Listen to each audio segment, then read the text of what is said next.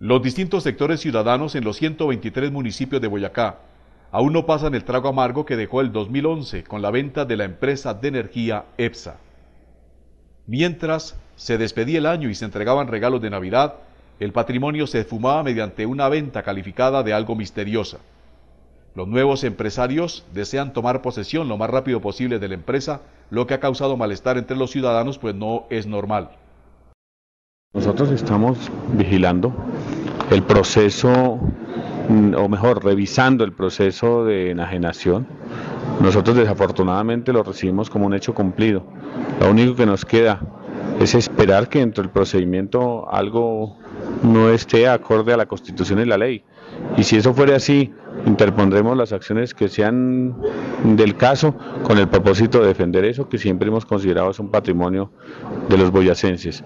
Y por otro lado, eh, si esto no fuera posible, estamos muy al frente de pensar que el gobierno deba de manera muy generosa mm, y dirigir los recursos de esa venta en desarrollo del departamento.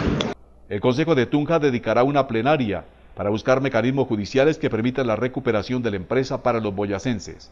Diversas marchas pacíficas se anuncian en los distintos municipios. Sí, efectivamente es una situación muy triste para todo el departamento de Boyacá, ver que nos pusieron una venda en los ojos y en un momento en que todo el mundo estaba distraído en otras actividades, nos hicieron la venta de la empresa sin que nadie, absolutamente nadie, pudiera oponerse a la misma.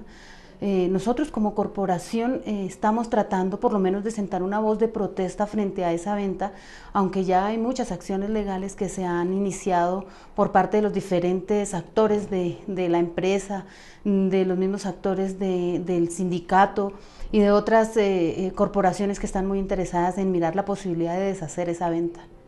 Sin embargo, cada vez que se presione el encendedor, el haz de luz nos recordará que la empresa de energía fue alguna vez de los boyacenses, pero hoy es de foráneos.